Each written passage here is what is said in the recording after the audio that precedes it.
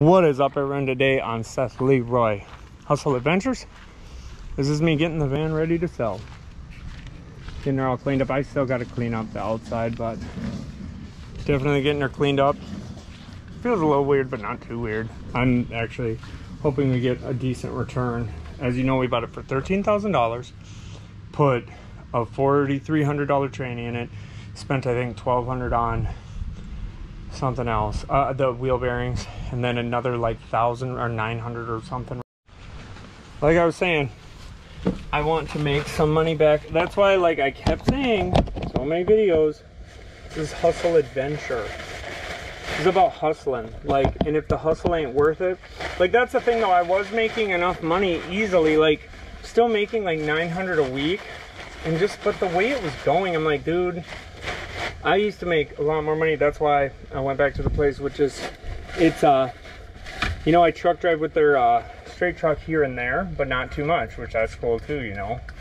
And I love building, I love creating, so perfect. I'm super excited, but that's why I never named my channel the cargo guy or the van man or fucking the cargo cargo or you know that's why I didn't it was it was specifically for a reason. Because, and that's why I always talk about, and I've been saying it for the whole year I was vlogging this.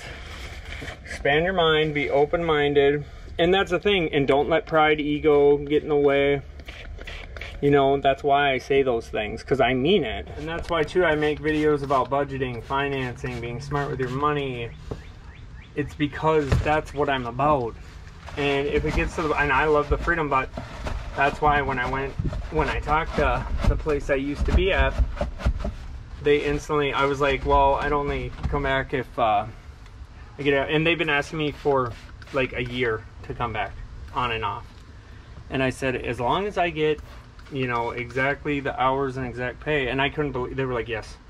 I was like, holy shit. So when I got into, they were like, what hours do you want? This and that you whatever you want like they they honored it because they know me i'm a psycho worker. My brother works there too.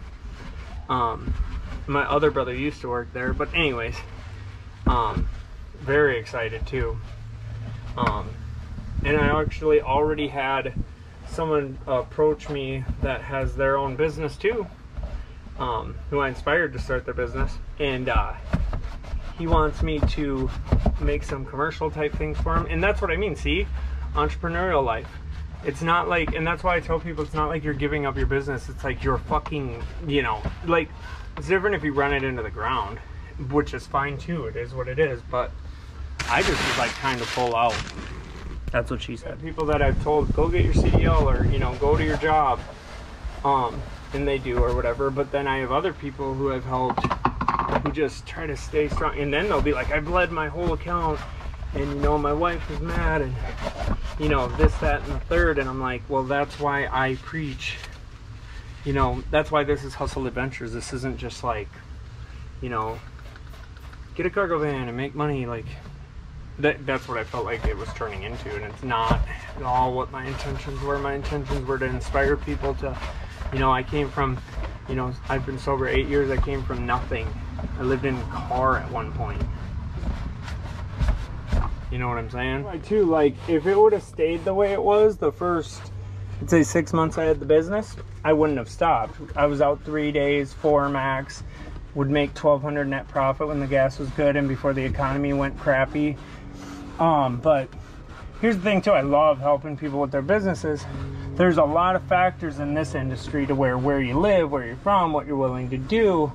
But also I wanted my channel to be more, that's why I was getting frustrated about I want to hear people say, you know, I just told my boss what's up because I'm big on like, you know, being free. And that's what I mean too. I don't mean just having a business. Like you can be free, just I'm saying be free of the strains of being told what you got to do. You still got to be a good worker, but I want to hear people say, hey, I just went to CDL. And I have had people that I've told go to CDL school privately, you know, privately, privately through Facebook, stuff like that. And then they'll tell me their journey. And that's what I want to hear. I love that. It's like, yeah, there we go. Be open-minded. This isn't just cargo vans. Like I keep saying, like I've been saying that too. You know, I want people to just, you know, be inspired to, you know, keep going, keep striving, Like fuck it. If it do, if it ain't if it ain't working, it's not the end. It's a new beginning. I got her looking so nice. So nice. But here's the thing. Hit up Carvana. And I watched some YouTube videos, people saying they got some good money from that, from Carvana, but they offered me three grand, dude. That's what I mean. Like, even down to selling my van is getting weird. Like, come on now.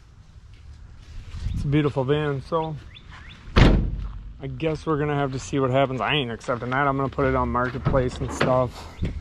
I mean, you can make good money out of these, so that's why I was like, what? But whatever, it is what it is. I mean, we'll see what happens. that's exactly why, though. I'm. I went back to what I was doing, but everyone like, share, subscribe, hit the bell notification if you want to. If you don't want to, that's cool with me. I'm just glad you're rocking with us. Uh, go link in the description for that gas app. And everyone have a blessed day. And oh yeah, keep hustling. I get